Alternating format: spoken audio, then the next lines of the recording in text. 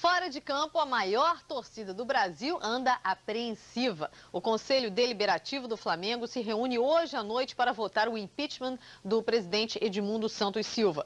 Mas dentro de campo, os jogadores honram a tradição do clube. Depois de um ano de derrotas e fracassos, o rubro-negro volta a dar esperanças para a torcida justamente na última competição, onde foi campeão.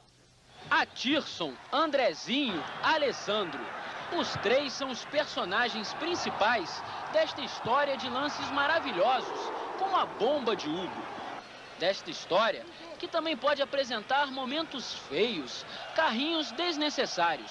Geralmente, os faltosos são punidos. Na cobrança, a Tirson chuta no contrapé de Arlen. Eita bola parada bonita. Flamengo, 1 a 0. O time está demonstrando dentro de campo que consegue as vitórias e o time está de parabéns. Ah, futebol caprichoso. Trombada de Fernando em Finase. Pênalti para o Goiás. Araújo mostra que aquela bola parada às vezes é inimiga. Os rubro-negros estão velozes e inspirados.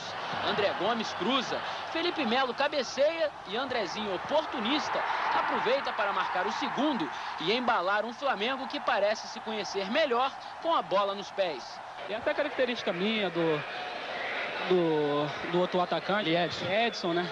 Às vezes o nome dele é muito difícil. Fácil é a tabela de Alessandro Andrezinho. Alessandro Andrezinho. Alessandro, que golaço!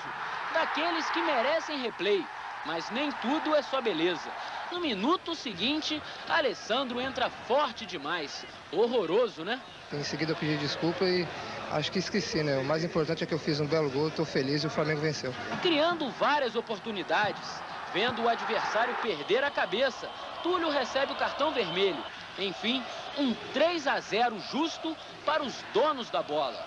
No jogo do belo e do feio, o resultado acabou sendo lindo para o Flamengo, que está praticamente classificado. Precisa apenas de um empate com o São Caetano para ser o primeiro do grupo.